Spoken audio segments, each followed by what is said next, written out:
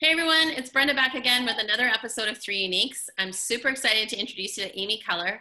Hi Amy, how are you doing today? I'm good, Brenda. How are you? I'm so good. So, just so everyone knows, Amy is an intimacy and relationship coach, and she's based in Vancouver, Canada. Um, so, Amy, what do you do as a intimacy and relationship coach? I help people feel connected and safe and in the groove with each other without just talking about it and without just doing it. awesome. How did you get into how did you get into intimacy and relationship coaching?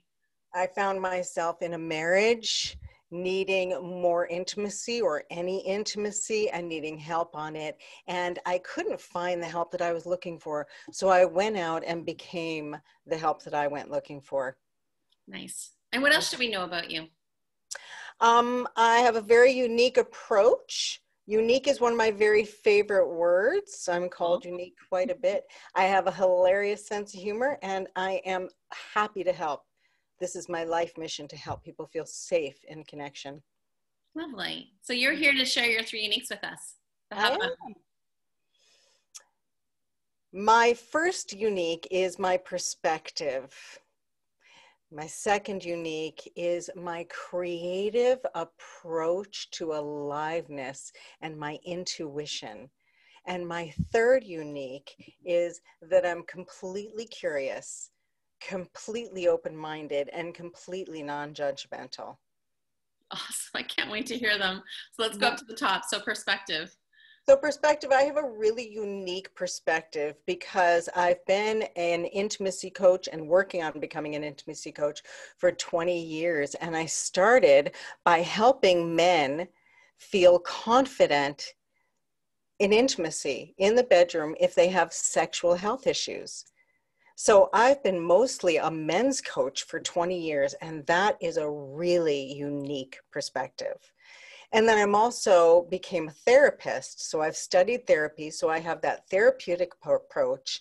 And then I also have that uh, experience of being in the in the dregs, if you will, with men so that they were really honest with me and, and, and approaching their porn issues and their confusion issues. My unique perspective is because I also have a deep spiritual perspective, and I've been practicing studying Buddhism for 30 plus years and lecturing around the world.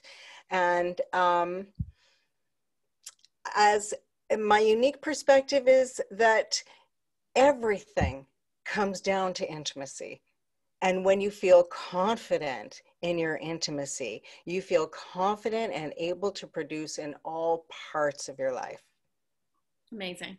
Awesome. Mm-hmm. Well, we were talking earlier about just even like in the business sense, right? Like intimacy.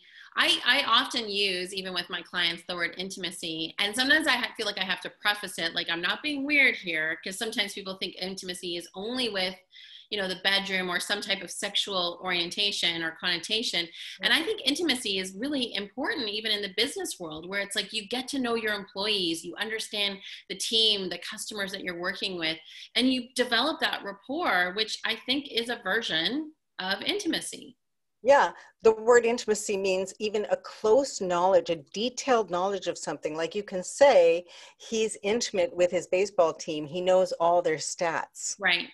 Mm-hmm. Yeah. So exactly that. That's yeah. a good good metaphor for business. And as I say, sex and money.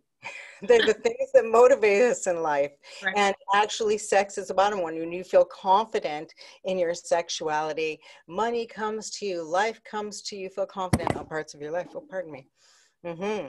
Awesome. Mm-hmm. That's great. And then your second, your second unique is that creativity. I'm super creative and that creative aliveness, which I've always had. I've always, I'm comfortable on stage. I love public speaking. I was Annie as a little child. You can see me in my TEDx, just confident, owning it. I've done stand up comedy. I have a degree in uh, fine arts and pieces hanging in galleries. So I have a really unique, I like to find solutions and I'll find really creative solutions. And especially because, like I said, I coached men, mm-hmm. and men don't want to talk about their feelings. They didn't come to me as a therapist, they come to me as a coach because that's a concept they understand. I'm going to learn to up my game. Right. so I'll find real solutions for that, which is why I use hilarious metaphors. Mm-hmm. And my sense of humor, I would say also, that would be part of that creative approach. And when you can have a sense of humor about something, it makes it easier to approach it. Yeah, absolutely. Okay. Yeah. And then your third unique. The third unique is that curious, the ability to stay curious, completely 100% curious and non judgmental in any circumstances, especially I say about this today's political environment people ask you, how do I deal with the political environment? I do the exact same thing I do with my couples.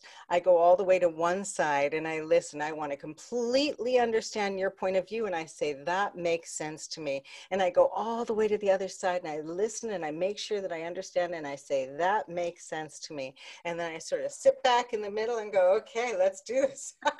let's see how this works out. It's that ultimate trust because I know that when when you show up in your best here and you show up in your best here, then the best for everybody is what's going to show up in the middle. And that open, non-judgmental, mm-hmm. that again is about being able to just sit in the soup, as I say, being okay with whatever shows up. And if you do that, even for each other, you don't have to be right or wrong. It's about just being able to be okay with whatever shows up. So I practice it myself. That's so great. That's amazing. How did you, um, when I asked you to come on and share your three uniques with us, like what sort of things did you do to prepare? Is this something that just comes naturally to you? You just know what makes you unique, or did you spend some time thinking about it and kind of like maybe walk us through your process a bit? I actually thought about it a little bit. I actually thought about it from from a business po- uh, perspective. Mm-hmm. What is it that makes me unique in coaching couples? It's not just a regular therapeutic approach. I want couples to feel confident and satisfied. And I really did think about this because what makes me unique is not just that I'm a coach, not just that I've done this. I, I could have gone, what makes me unique? I love bright colors. Mm-hmm. I see more colors than other people. I like to listen to classical music. But, you know, I, I'm very, I could go on and on about what makes me unique. But when I think about why I'm really here, Mm-hmm. I always remember that I'm really here to help other people. I've dedicated my life to it. Awesome. So I always try to take myself out of the situation and out of the story. My first book will be out soon. And I'm I'm this in it about this much. The rest of it is stories and anecdotes and uh, real tools to help other people because I remember that people aren't really that interested in my story, only in how I can help people. So even when I think about my perspectives and what makes me unique, I think about my uniqueness and how I can help other people with that. Nice. And when is your book expected to come out? Uh, a year ago. all good. It's all part of the creative process, right?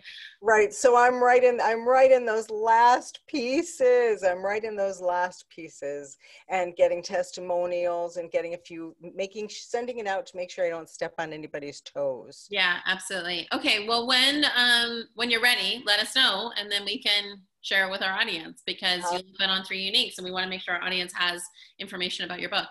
Great. And well, they can sign up at my site and they should go check out my TEDx. Okay, yeah. So it, where do we find you?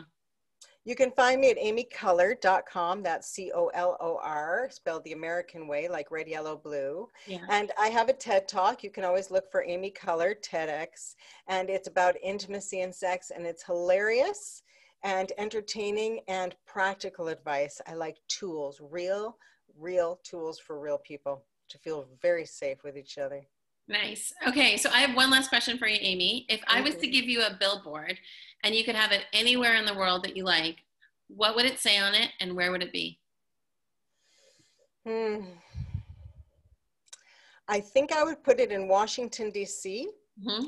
right now because there's so much turmoil right there. And it would be my saying, which is right on that little sign right there. Mm-hmm. It's that little yes sound. Mm-hmm. Mm-hmm. Because it does there's a lot of science behind behind it. But what i say is intimacy is the vibe in the space between two people. And it's also the vibe that you have for yourself. That's what makes people feel so safe with me is i've got that safety vibe. And that mm-hmm is what i practice. And that's a positive vibe. It's that simple. You want to change your vibe? Just go mm-hmm you're putting the yes sound in there and i'd put it in washington d.c so people would go mm-hmm mm-hmm mm-hmm mm-hmm because without even intending to they'd be putting a positive vibe in the air and i think they could use it right now. Oh, i love that because it's all about validation right? Validation of someone else's thoughts or expressions.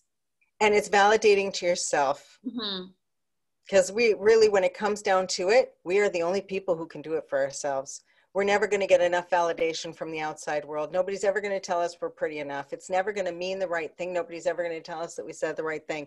We have to believe it for ourselves. We have to be able to turn ourselves on and tap into our own positive vibe. And the easiest way to do that is mm-hmm, that simple yes sound. Oh my gosh, that's a treat. What was that? That's a great question. Okay, yeah. I'm not going to take ownership of the question. It actually comes from Tim Ferriss's book, Tribe of Mentors. So he's got uh, 11 questions that he asks folks, and I that one specifically I love. So, yeah. Uh, thank you, and such a treat to have you on today, sharing your three uniques with us and telling us more intimately what you do for people. Thank you, Brenda. Thank you for having me. It was fun to talk. And for everybody that's tuning in today, listening to Amy share her three uniques, and for other people that we've interviewed in the past or about to interview in the future, just remember you've got an opportunity to share your three uniques with the world. There's seven and a half billion people on this planet. Somebody needs what you've got. Take care, everyone.